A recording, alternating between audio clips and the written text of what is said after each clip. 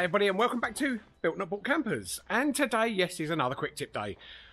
And this quick tip, like most quick tips, can work for all vehicles, not just camper vans, but we're going to keep it all camper van related. So, we're going to get on to the quick tip.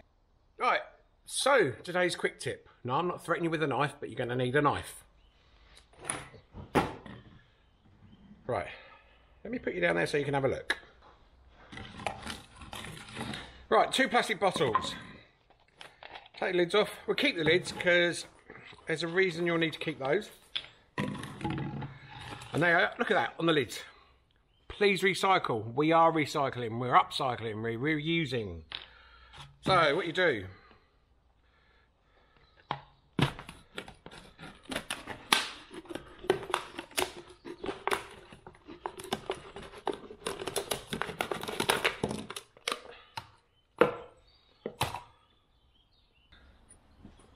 So yeah, when it comes to topping up fluids on your van, it's a, no, it's a pain to get down, get bottles, and these big five litre containers won't go down there. So cut the bottom off a bottle, pop it in the top in the hole there, and top it up from up here. And not only that, you can do that with oil as well. So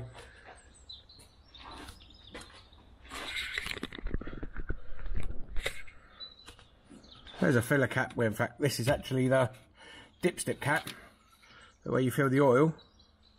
And again put it down there. So it's a lot easier to get oil into there than it is try and aim the oil. And it's a pain if you spill it all over the vehicle. And again the thing is once you finish doing that you pick the bottle up and put the lid on to stop it dripping and I mean, if you wanted to keep the bottle and reuse it for next time, try and poke that back in, tape it on, or, yeah, put it in a bag and reuse it. But to be honest with you, plastic bottles, you know, who doesn't drink a bottle of water? Who doesn't drink fizzy, whatever? If you don't, you should be drinking water at least. Anyway, so that is my quick tip and hack for today. And you can either use the bigger bottles or little bottles. So if you're in a tight space and you've got no not much room there, like something there, you can, you know, it's it, it's easy. So just a quick tip, just a quick hack that you don't need to carry funnels and God knows what else, and you don't need to fight while you're in the garage trying to aim it at the hole and make sure you hit it and then spilling oil all over your engine. Just you keep a cheap empty plastic bottle. And to be honest with you, instead of just doing that, bin it when you finish with it. Anyway, that is the quick tip for today. Plastic bottles and fillers. I hope you found that mildly entertaining or at least a little bit interesting. I know it's only cutting the bottom of a plastic bottle and using it as a funnel.